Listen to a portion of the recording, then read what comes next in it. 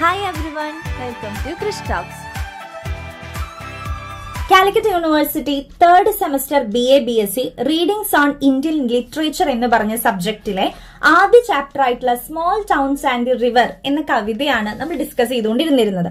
അതിന്റെ first party video already uploaded ചെയ്തിട്ടുണ്ട്. Detail ആയിട്ട് ലൈൻ ബൈ ലൈൻ സമ്മറിയും ഫിഗർ ഓഫ് സ്പീച്ചും കാര്യങ്ങളൊക്കെ ആഡ് ചെയ്തിട്ടാണ് നമ്മൾ ഫസ്റ്റ് പാർട്ട് വീഡിയോ അപ്ലോഡ് ചെയ്തിട്ടുള്ളത്. ഇത് അതിന്റെ സെക്കൻഡ് പാർട്ട് വീഡിയോ ആണ്. ഇതിൽ നമ്മൾ ക്വസ്റ്റ്യൻ ആൻസേഴ്സ് ആണ് ഡിസ്കസ് ചെയ്യുന്നത്. അപ്പൊ ആദ്യത്തെ പാർട്ട് വീഡിയോ കാണാത്തവരുണ്ടെങ്കിൽ അത് കണ്ടതിന് ശേഷം മാത്രം നിങ്ങൾ ഈ ഒരു വീഡിയോ കാണാം. കാണാത്തവർക്ക് ലിങ്ക് ഞാൻ താഴെ കൊടുക്കുന്നുണ്ട്. നമ്മുടെ ചാനൽ ഇതുവരെ സബ്സ്ക്രൈബ് ചെയ്യാത്തവരുണ്ടെങ്കിൽ സബ്സ്ക്രൈബ് കൂടി ചെയ്തേക്കാം കേട്ടോ സോ നമുക്ക് ഈ ഒരു പോയത്തിലെ ക്വസ്റ്റ്യൻ ആൻസേഴ്സ് നോക്കാം. ആദ്യത്തെ ക്വസ്റ്റ്യൻ ആണ് what does the point mean by dreadful silence എന്താണ് ഡ്രെഡ്ഫുൾ സൈലൻസ് ഞാൻ പറഞ്ഞു ഭയാനകരമായിട്ടുള്ള ഒരു സൈലൻസ് ഒരു മൂകതയാണ് മരണ വീട്ടിലെ ആ ഒരു മൂകതയെയാണ് അവിടെ സൂചിപ്പിച്ചതെന്ന് പറഞ്ഞല്ലോ. അപ്പൊ അത് കവി ഉദ്ദേശിക്കുന്നത് എന്താണെന്നാണ് ചോദിച്ചിരിക്കുന്നത്. സോ അതിന്റെ ആൻസർ എന്ന് പറയുന്നത് the gap and the sadness that remains us of the imminent death after after death of person is mean by the expression dreadful silence. It also refers to the sufferings and the deaths due to insurgency in the northeastern region. അതായത് ഒരാൾ മരിച്ചു കഴിഞ്ഞാൽ ആ ഒരു മരണത്തെക്കുറിച്ച് ആലോചിക്കും നമ്മൾ അല്ലെ ആ ഒരു ആലോചനയിൽ ഉണ്ടാകുന്ന നമ്മുടെ സങ്കടം അതിനെയാണ് ഇവിടെ ഡ്രെഡ്ഫുൾ സൈലൻസ് എന്നുകൊണ്ട് ഉദ്ദേശിക്കുന്നത് പലതരത്തിലുള്ള പ്രശ്നങ്ങൾ മൂലം കലാപങ്ങൾ പലതരത്തിലുള്ള യുദ്ധങ്ങൾ മൂലം മരണപ്പെട്ട പെട്ടെന്ന് പെട്ടെന്നൊക്കെ മരണപ്പെട്ട ആളുകൾ ഉണ്ടായേക്കാം. അപ്പൊ അവരെ കുറിച്ചൊക്കെ വിലപിക്കുന്നതും നമുക്ക് ഇതിലൂടെ മനസ്സിലാക്കാൻ സാധിക്കുന്നതാണ് പറയുന്നത് അപ്പൊ മൊത്തത്തിൽ പറയുകയാണെങ്കിൽ ഒരാളുടെ മരണത്തിൽ ഉണ്ടാകുന്ന നമ്മുടെ വേദനേനെയാണ് ഇവിടെ ഡ്രെഡ്ഫുൾ സൈലൻസ് കൊണ്ട് ഉദ്ദേശിക്കുന്നത്. അടുത്ത ചോദ്യം the river has a soul what does the point mean by this expression അതായത് നമ്മുടെ റിവറിനും ഒരു സോൾ ഉണ്ട് എന്നാണ് പറയുന്നത്. അപ്പൊ ഇവിടെ നമ്മുടെ കവിതയിൽ ഈ ഒരു റിവർ ഹാസ് എ സോളിന് രണ്ട് ഫിഗർ ഓഫ് സ്പീച്ച് വന്നിരുന്നു. ഒന്ന് പേഴ്സോണിഫിക്കേഷനും ഒന്ന് റിപ്പീറ്റേഷനും കേട്ടോ അപ്പൊ അത് നമ്മൾ ഫസ്റ്റ് പാർട്ട് വീഡിയോയിൽ ഓൾറെഡി ഡിസ്കസ് ചെയ്തതാണ്. The river is described as a person who act and think like us അപ്പൊ ഇവിടെ പേഴ്സോണിഫിക്കേഷൻ ആണ് ആഡ് ചെയ്തതെന്ന് ഞാൻ പറഞ്ഞു. ഒരു സോൾ ഉണ്ട് ആത്മാവുണ്ടെന്ന് പറഞ്ഞ റിവറിന് നമ്മളെ പോലെ പലതും ചെയ്യാൻ കഴിവുണ്ട് എന്നാണ് അതിലൂടെ മനസ്സിലാക്കാൻ സാധിക്കുന്നത്. Here the point highlights the permanence of the river ഇവിടെ നമ്മുടെ ആ ഒരു റിവറിന്റെ ആ ഒരു പെർമനൻസിനെ കൂടി നമുക്ക് ആ ഒരു ശ്വാസത സ്ഥിരതയെ നമുക്ക് ഇതിലൂടെ മനസ്സിലാക്കാൻ സാധിക്കുന്നുണ്ട്. അടുത്ത ചോദ്യമാണ് why the dead are placed pointing west അതായത് അവരുടെ ആ ഒരു ട്രൈബ്സിന്റെ റിച്വൽ പ്രകാരം മരണപ്പെട്ട് കഴിഞ്ഞാൽ വെസ്റ്റിലോട്ട് പോയിന്റ് ചെയ്തിട്ടാണ് പടിഞ്ഞാറോട്ട് പോയിന്റ് ചെയ്താണ് കിടത്തുന്നത് അല്ലെ? നമുക്കറിയാം നമ്മൾ ഈസ്റ്റും വെസ്റ്റും കിഴക്കും പടിഞ്ഞാറ് എപ്പോഴും നമ്മൾ പറയുന്നത് കിഴക്ക് ഒരു നല്ലൊരു കാര്യത്തിന്റെ തുടക്കവും പടിഞ്ഞാറ് ഒരു അവസാനവുമായിട്ടാണ് നമ്മൾ കൺസിഡർ ചെയ്യുന്നത് അല്ലെ? സൂര്യൻ ഉദിക്കുന്നു അതേപോലെ പല കാര്യങ്ങളുടെയും തുടക്കം നല്ല കാര്യങ്ങളുടെ തുടക്കം കിഴക്ക് ഈസ്റ്റിലോട്ടും പല കാര്യത്തിന്റെയും അവസാനം നമ്മൾ വെസ്റ്റും ആയിട്ടാണ് കൺസിഡർ ചെയ്യാറുള്ളത്. അപ്പൊ ഇവിടെ അവരുടെ റിച്വൽ പ്രകാരം വെസ്റ്റിലോട്ട് പോയിന്റ് ചെയ്തിട്ടാണ് മരണശേഷം കിടത്ത മരിച്ചതിന് ശേഷം ആ ഒരു ബോഡി കെടുത്തുന്നുണ്ടായിരിക്കുക. അപ്പൊ അത് എന്തിനാന്ന് വെച്ച് കഴിഞ്ഞാൽ അവർ പുനർജനിക്കുമ്പോ ഈസ്റ്റ് പോയിന്റ് ഔട്ട് ചെയ്തിട്ട് പുനർജനിക്കുന്നു. അങ്ങനെ ആ ഒരു സൂര്യന്റെ ഭവനത്തിലോട്ട് golden east that means heaven ആ ഒരു സ്വർഗത്തിലോട്ട് അവർ നടന്നെടുക്കുകയാണ് ചെയ്യുന്നതെന്നാണ് അർത്ഥമാക്കുന്നത്. ഓക്കെ നമ്മുടെ റിച്വൽ അനുസരിച്ച് അങ്ങനെയല്ല.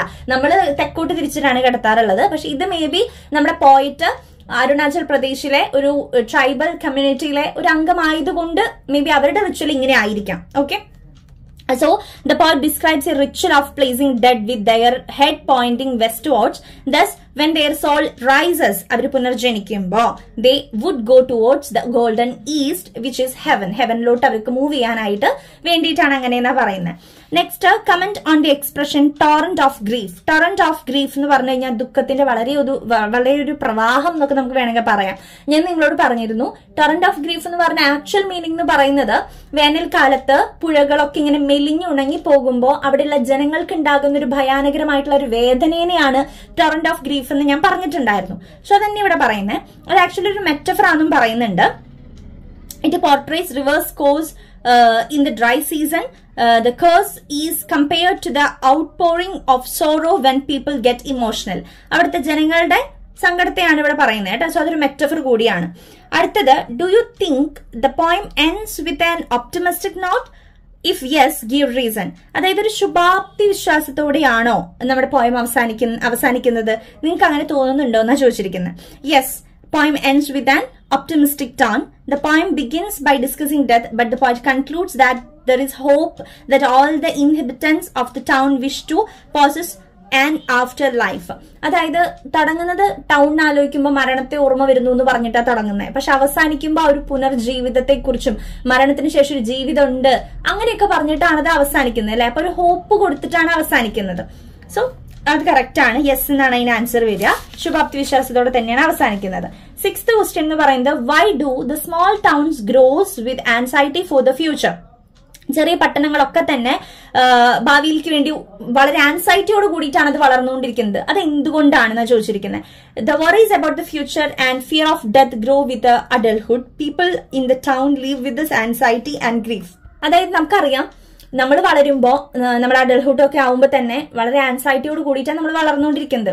അപ്പൊ ഈ ടൗൺ ഏരിയാസിലുള്ള ആളുകളുടെ ജീവിതവും അതുപോലെ തന്നെയാണെന്നാണ് സൂചിപ്പിക്കുന്നത് next explain the expression sad wreath of tuberoses sad wreath of tuberoses എന്ന് പറയുമ്പോൾ ഇവിടെ നമ്മൾ ആ ഒരു ട്യൂബർ റോസസ് കൊണ്ട് ഉണ്ടാക്കിയ റീത്ത് അത് പോയിന്റ് ഔട്ട് ചെയ്യുന്നത് ഡെത്തിനെ തന്നെയാണ് ഒരാൾ മരിക്കുമ്പോഴാണ് നമ്മൾ റീത്ത് കൊണ്ടുവയ്ക്കുക. ആ റീത്ത് വെള്ള പൂക്കൾ കൊണ്ടുള്ള റീത്ത് അതാണ് ട്യൂബർ റോസസ് അപ്പൊ വെള്ള പൂക്കൾ കൊണ്ടുള്ള ഒരു റീത്ത് നോക്കിക്കൊണ്ട് സങ്കടത്തോടു കൂടി ഇവരിരുന്ന് കരയുന്നു എന്നാണ് നമ്മൾ ആ ഒരു കവിതയിൽ വരികളിൽ പറഞ്ഞിട്ടുണ്ടായിരുന്നത് കേട്ടോ. അപ്പൊ അതാണ് ഇവിടെ സൂചിപ്പിക്കുന്നത്. അപ്പൊ ഇവിടുത്തെ എക്സ്പ്രഷൻ എന്ന് പറയുന്നത് ഫിഗർ ഓഫ് സ്പീച്ച് എന്ന് പറയുന്നത് എന്താ?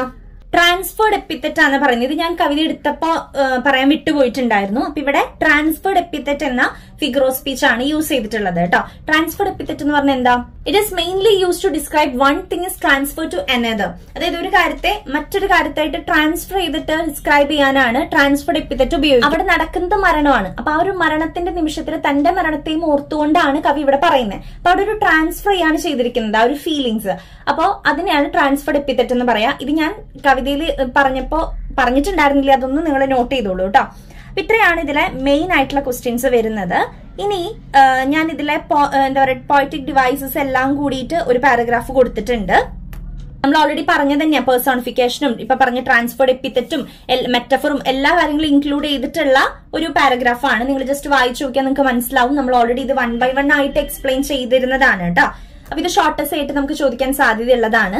ഇനി എസ് എ ക്വസ്റ്റ്യൻ കാര്യങ്ങളൊക്കെ വരുമ്പോ നിങ്ങൾ ഈ കവിതയിൽ നിന്ന് മനസ്സിലായ എല്ലാ കാര്യങ്ങളും ഇൻക്ലൂഡ് ചെയ്തിട്ട് എഴുതിയാൽ മതി. ഇപ്പൊ എസ് എ വരിക കവിതേനെ മൊത്തം ഒന്ന് സമറൈസ് ചെയ്യാൻ ഇലാബറേറ്റ് ചെയ്യാനൊക്കെ പറഞ്ഞിട്ടാണ് വരിക. അല്ലെങ്കിൽ ഇതിലെ തീം എന്താന്നൊക്കെ ചോദിച്ചിട്ടാണ് വരിക. അപ്പൊ നിങ്ങൾ ഇത്രയും പഠിച്ച കാര്യങ്ങളൊക്കെ കൂടി മിക്സ് ചെയ്ത് എഴുതി കഴിഞ്ഞാൽ അതിന്റെ ആൻസർ ആയി. അപ്പൊ നിങ്ങൾക്ക് ക്ലിയർ ആയെന്ന് വിശ്വസിക്കുന്നു. എന്തെങ്കിലും ഡൗട്ടുകൾ ഉണ്ടെങ്കിൽ നിങ്ങൾക്ക് കമന്റ് ചെയ്യാം. നമ്മുടെ ചാനൽ സബ്സ്ക്രൈബ് ചെയ്യാത്തവരുണ്ടെങ്കിൽ സബ്സ്ക്രൈബ് ചെയ്തോളൂ. ഫ്രണ്ട്സിനൊക്കെ ഒന്ന് അയച്ചു കൊടുത്തോളൂ കേട്ടോ. So all the very best thank